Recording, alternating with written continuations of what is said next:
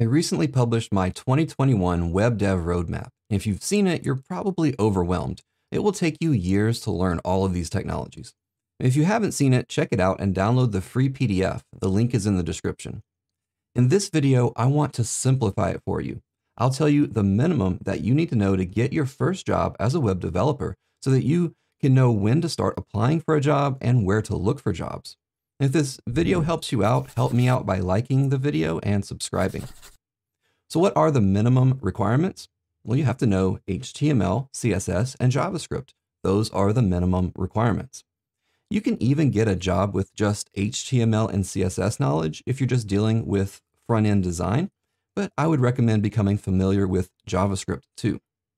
So be sure to learn HTML5 and semantic HTML Learn CSS, including Flexbox, grid, animations and transitions, and responsive design.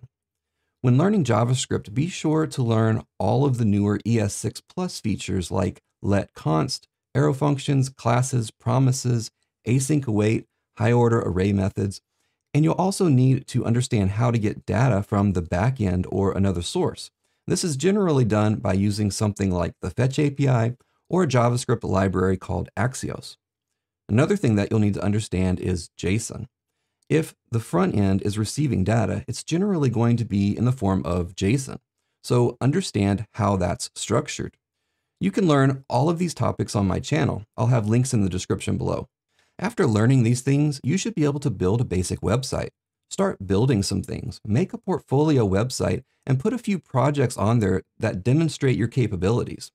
Now, don't put projects on your portfolio that come straight out of a tutorial or course, though.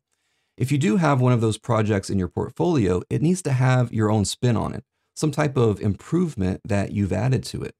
The biggest advice that I can give you is build things. Just watching a tutorial and following along is not good enough. Come up with an idea on your own and build it. When you hit a wall and you can't remember or figure something out, Google it. Google is a developer's best friend. Try to figure things out on your own. This will help you to develop good problem solving skills. Now, a lot of people will tell you that you need to know a front end framework before you start applying. I don't think that that's necessarily true. It will definitely help you, but it's not a requirement to start applying.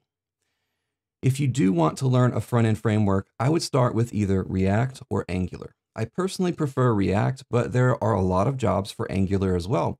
But just be aware that Angular, in my opinion, it's harder to learn than React. Now, if your goal is to be a backend developer, you still need to understand the basics of HTML, CSS, and JavaScript, but you'll need to focus on backend technologies, and there are many to choose from. There isn't a simple answer here. I can't tell you you need to learn Java, or you need to learn Go, or you need to learn Python. My advice is to find out what technologies are being used at the companies that you want to work for or companies in your area of the world.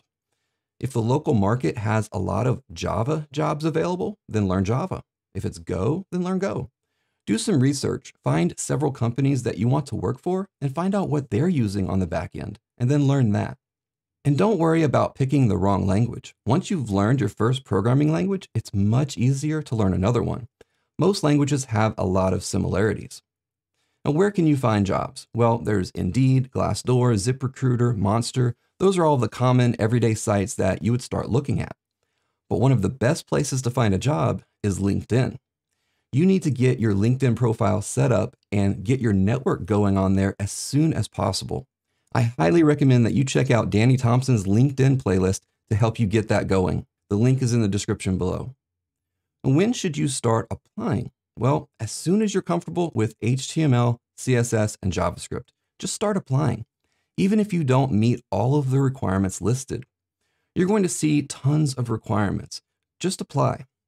Many people are scared to apply if they can't check off every single requirement. Let me tell you a little secret. The company will never find someone with every requirement listed. It just doesn't happen. If you do have every requirement listed, then you might be applying for the wrong job. You should look at a higher level job.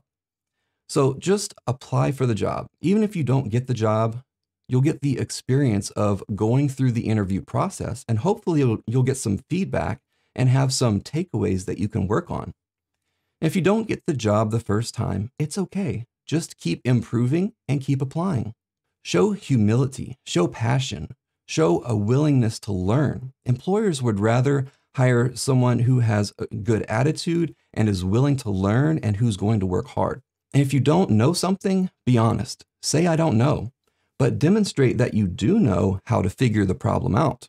Demonstrate self motivation, demonstrate problem solving skills. You also have to know when a problem is too much for you. If you're spending too much time trying to figure something out, it would be better to ask for help. So understand your limitations and be okay with asking for help. Now, did you know that there are other ways to make money as a developer than working for a company? At least nine other ways to be exact. There's freelancing, blogging, contributing to open source, creating a software as a service, creating digital products, one on one mentoring, starting a YouTube channel, live coding and streaming, and creating courses. Now, all of these topics are covered in this ebook from Florin Pop 10 plus ways to make money as a developer. If you want to find other ways to make money as a developer, I highly recommend that you check out this book. Most of these can even be done on the side of your day job to bring in some extra income.